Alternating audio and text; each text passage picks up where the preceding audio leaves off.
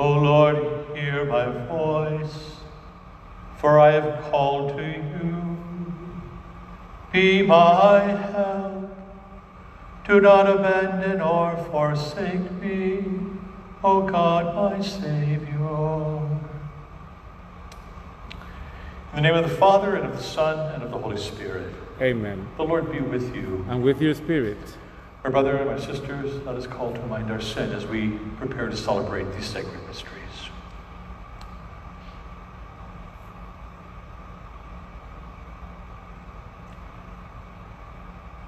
You raise the dead to life in the Spirit. Lord, have mercy. Lord, have mercy. You bring pardon and peace to the sinner. Christ, have mercy. Christ, have mercy. You plead for us with the Father. Lord, have mercy. Lord, have mercy. May Almighty God have mercy on us, forgive us our sin, and bring us to everlasting life. Amen. Let us pray.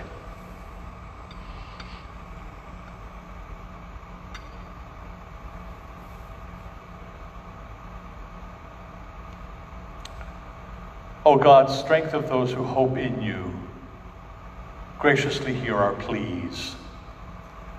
And since without you mortal frailty can do nothing, grant us always the help of your grace, that in following your commands we may please you by our resolve and our deeds.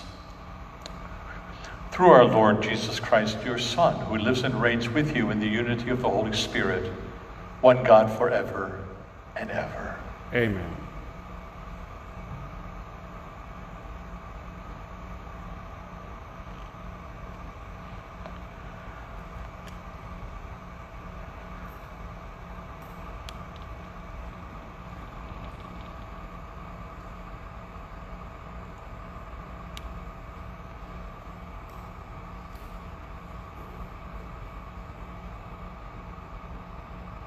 A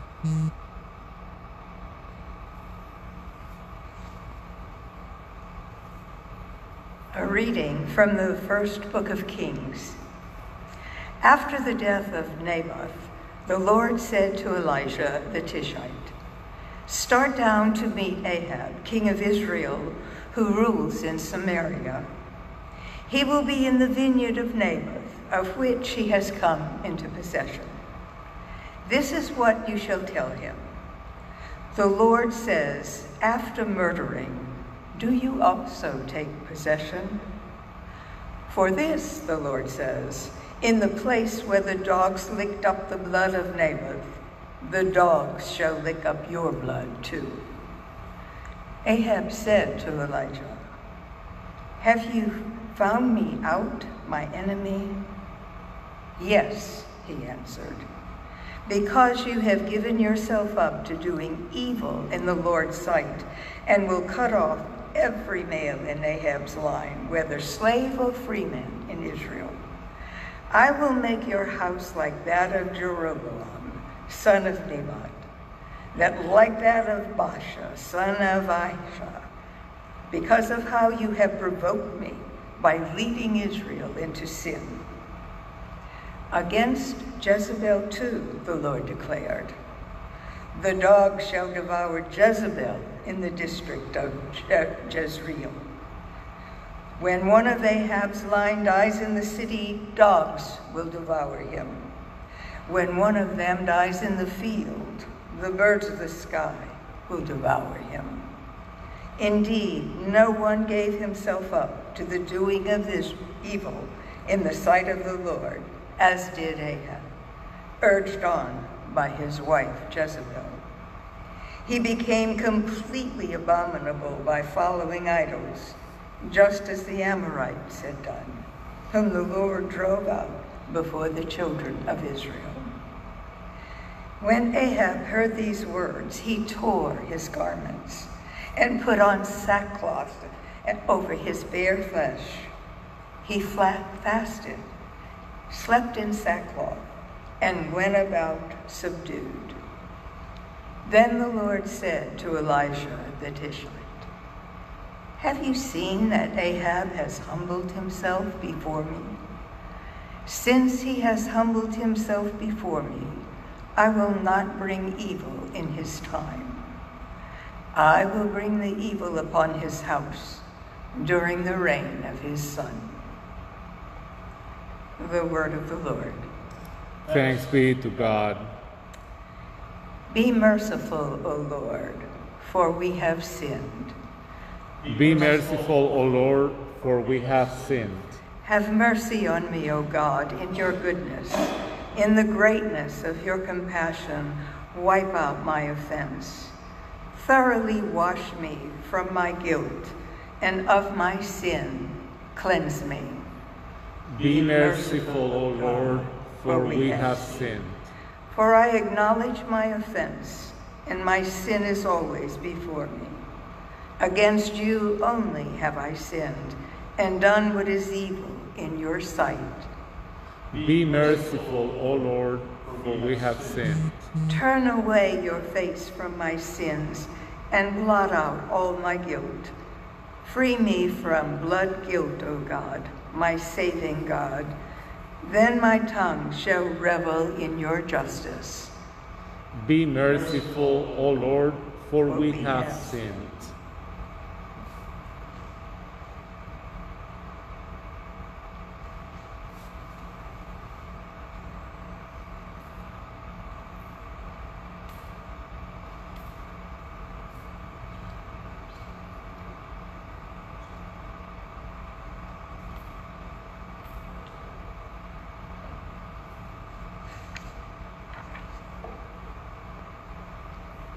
The Lord be with you. And with your spirit, A reading from the Holy Gospel according to Matthew. glory to you, Lord.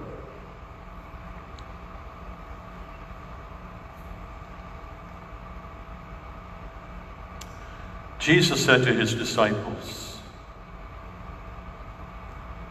You have heard that it was said, You shall love your neighbor and hate your enemy. But I say to you, Love your enemies and pray for those who persecute you, that you may be children of your heavenly Father. For he makes his sun rise on the bad and the good and causes rain to fall on the just and the unjust. For if you love those who love you, what recompense will you have? Do not the tax collectors do the same? And if you greet your brothers only, what is unusual about that? Do not the pagans do the same? So be perfect, just as your heavenly Father is perfect. The Gospel of the Lord.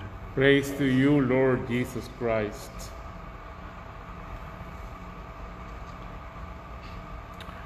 Well, we continue with the uh, what we call the Elijah cycle, and tomorrow we have the conclusion of that, where Elijah is taken up in the whirlwind with the fiery chariots to the Lord, and his uh, ministry continues in his successor Elisha. Uh, we heard today about his confrontation of King Ahab. Uh, we don't hear the conclusion of the story, though. And in fact, what happens uh, is the prophecy of Elijah comes to fulfillment when his son, Ahab's son, is wounded in battle. And as they're cleaning out his chariot of the blood that's in his chariot, having been mortally wounded, the dogs come and lick up the remainder of it. Gruesome stories from the Old Testament. The beautiful story, though, of course, is from the words and the example of Jesus. We must go beyond what the law says. And to go beyond the law means to love radically, dramatically, to love even those who would do us harm. Those are words we need to hear these days huh? when there's such division over something as silly as politics. Huh?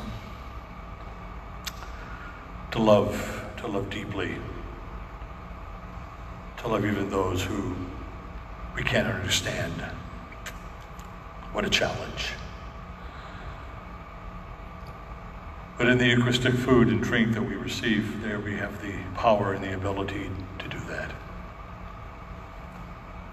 Shall we pray?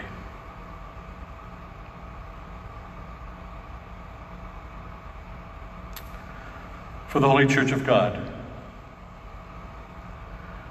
for our young ones who continue to receive their first communion during these days, and for those who still await the sacraments of initiation. And that we throughout the world may be a church of welcoming, of healing, and of hope. We pray to the Lord.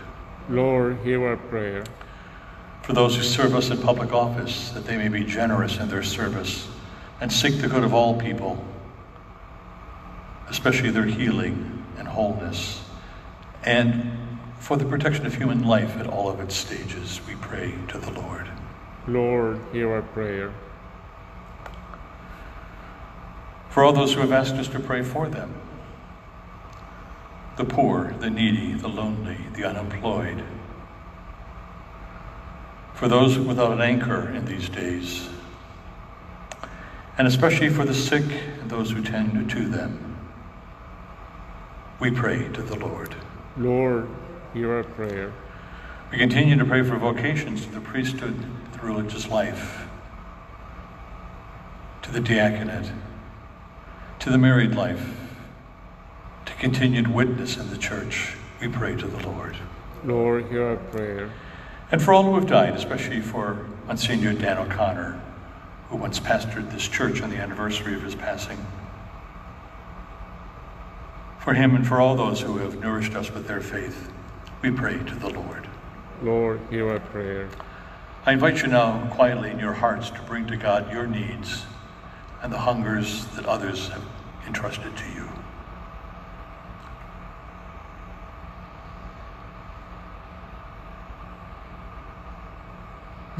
For all these needs, we pray to the Lord. Lord, hear our prayer. God our Father, may we love you in all things and above all things, and reach the joy you prepare for us beyond our imagining. All this through Christ our Lord. Amen.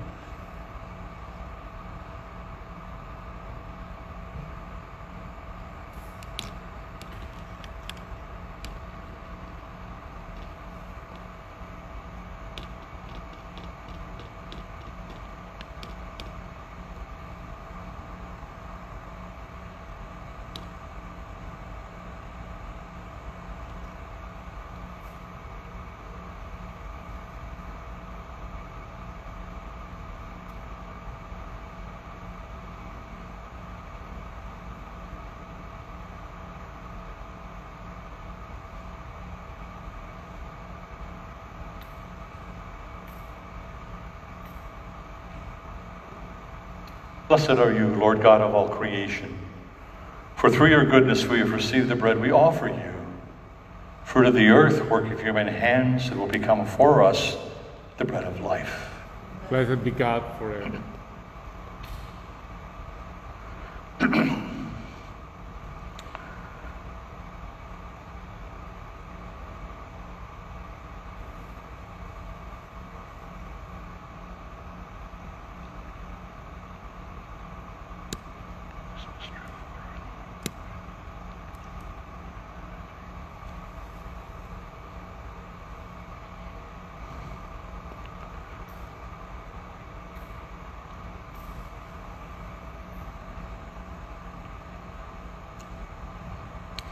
Blessed are you, Lord God of all creation, for through your goodness we have received the wine we offer you. Fruit of the vine, work of human hands, it will become our spiritual drink. Blessed be God forever.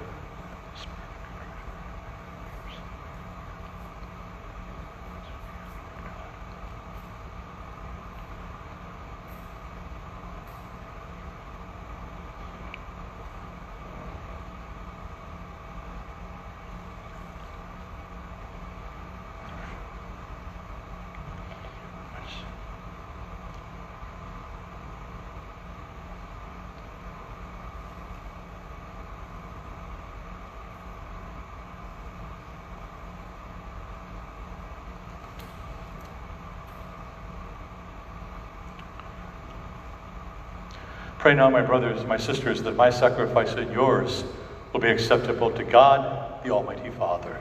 May the Lord accept the sacrifice at your hands for the praise and glory of his name, for our good and the good of all his holy church.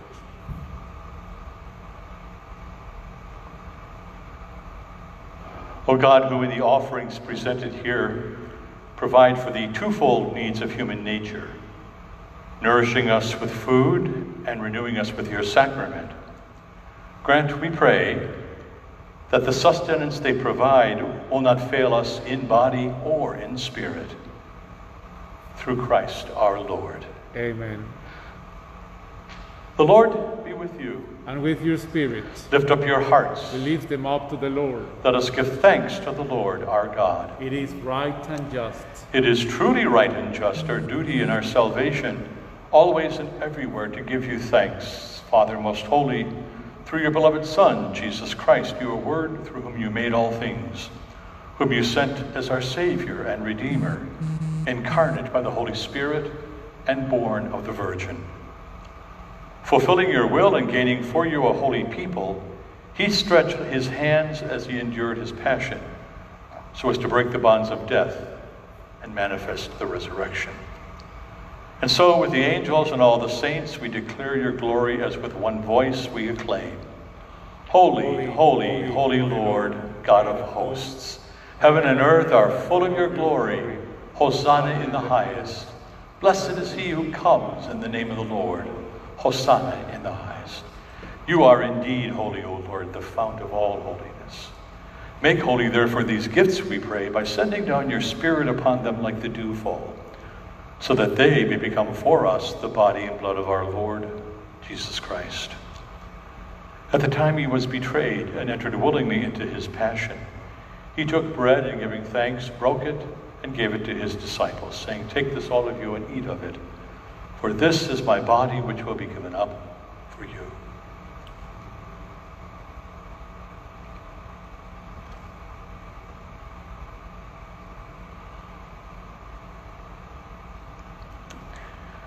In a similar way, when supper was ended, he took the chalice, and once more giving thanks, he gave it to his disciples, saying, Take this, all of you, and drink from it. For this is the chalice of my blood, the blood of the new and eternal covenant, which will be poured out for you and for many for the forgiveness of sins. Do this in memory of me.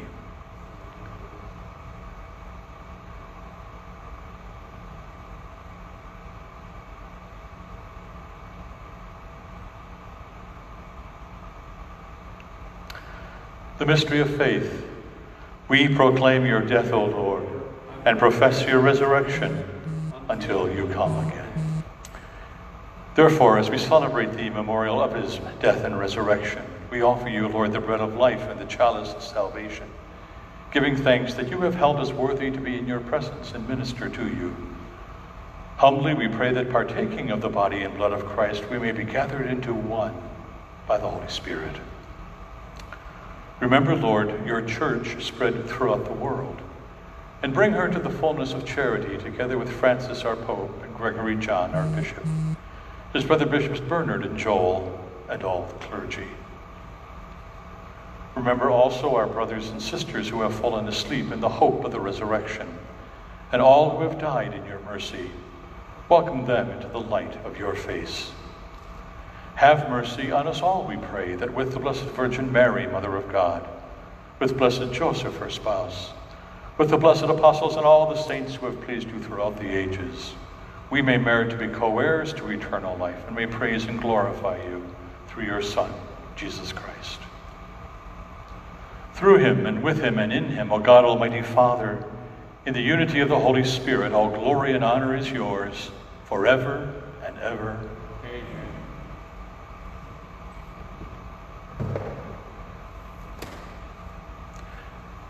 At the Savior's command, informed by divine teaching, we dare to say, Our Father, who art in heaven, hallowed be thy name. Thy kingdom come, thy will be done, on earth as it is in heaven. Give us this day our daily bread, and forgive us our trespasses, as we forgive those who trespass against us. And lead us not into temptation, but deliver us from evil. Deliver us, Lord, we pray, from every evil. Graciously grant peace in our days, that by the help of your mercy we may be always free from sin and safe from all distress, as we await the blessed hope and the coming of our Savior, Jesus Christ. For the kingdom, the power, and the glory are yours now and forever. Lord Jesus Christ, we said to your apostles, Peace I leave you, my peace I give you. Look not on our sins, but on the faith of your church. And graciously grant her peace and unity in accordance with your will, who live and reign forever and ever. Amen. The peace of the Lord be with you always. And with your spirit. Lamb of God, Lamb of God, you take away the sins of the world. Have mercy on us. Lamb of God, you take away the sins of the world. Have mercy on us. Lamb of God, you take away the sins of the world. Grant us peace.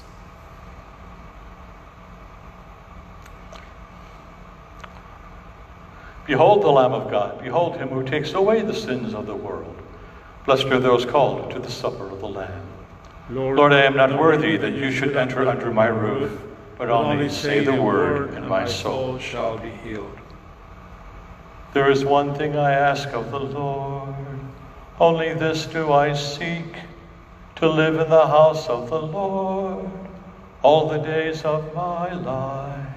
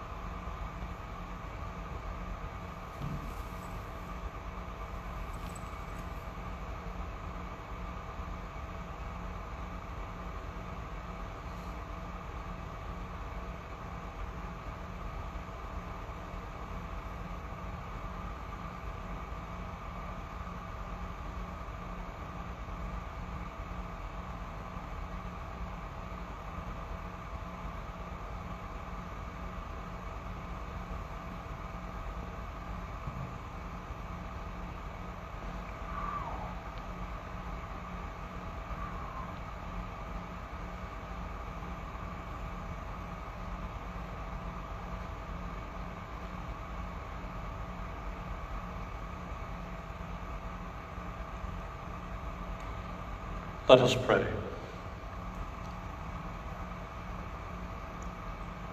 As this reception of your Holy Communion, O Lord, foreshadows the union of the faithful in you, so may it bring about unity in your church. Through Christ our Lord. Amen. The Lord be with you. And with your spirit. May Almighty God bless you, the Father, the Son, and the Holy Spirit. Amen. Go in peace. Thanks be to God. Ave Maria, gratia plena, Dominus tecum, benedicta tu in mulieribus, et benedictus fructus ventris tui, Iesus. Sancta Maria, Mater Dei, ora pro nobis peccatoribus, nunc et in hora mortis nostrae. Amen.